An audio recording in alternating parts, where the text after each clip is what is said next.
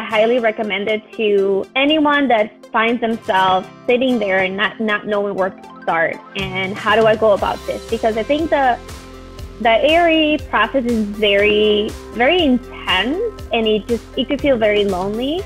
And like anything else in architecture school, you you know you do studio, you do your own project, but you're amongst peers. So why would you think that the ARE process should be a process that you go at it alone? I think the way that Michael has created this boot camp, how you study with other people, you teach others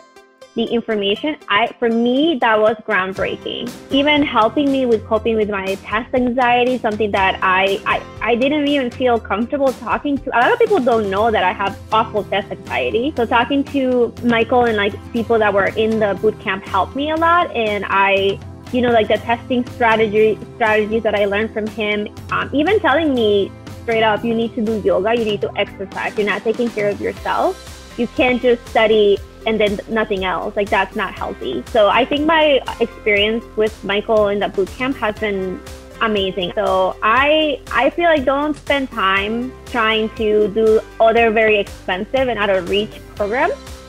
when you have the boot camp to just kind of help you diversify your study materials because it's not about just his book or you know he will tell you these are the other things that you should be doing and at the end of the day, I think that I have become such a good architectural designer because of all the information I've learned over the last couple years.